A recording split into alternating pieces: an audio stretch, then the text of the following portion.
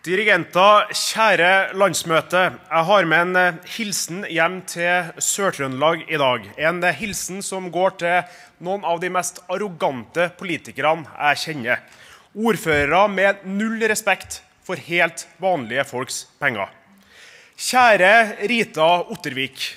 Kirsti Velander, ordfører på Oppdal. Jon Einar Høvik i Osen, og sist, men ikke minst ordføreren i Skaun, Jon P. Husby.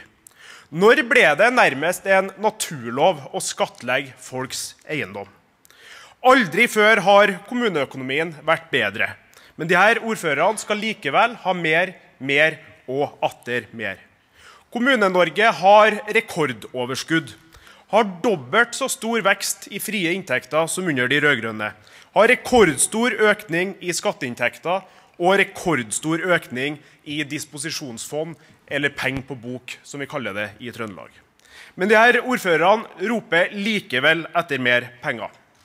Er de her ordførerne fra Senterpartiet og Arbeiderpartiet klar over hvor minimal de her skatteinntektene utgjør for hver kommune, men samtidig hvor enorm denne skatten er for en småbarnsfamilie, en pensjonist eller en aleneforsørger?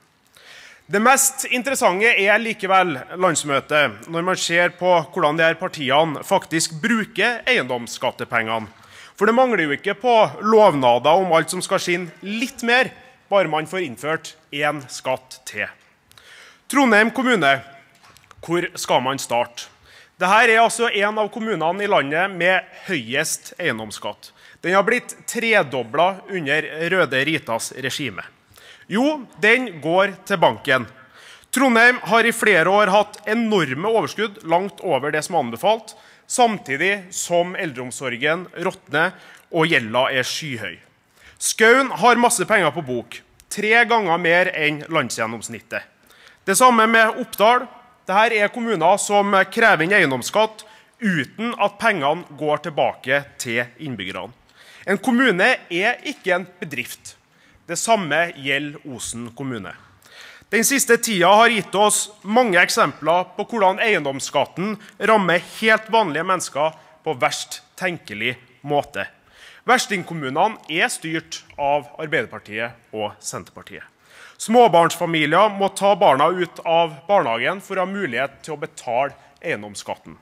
Da hører vi ikke venstresida snakke om umoderne familiepolitikk.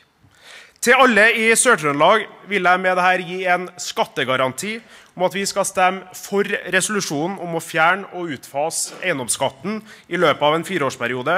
Og jeg kan forsikre dere om at det kommer til å bli en av de viktigste sakene for meg og for Frp hvis vi fortsetter i regjering. Takk.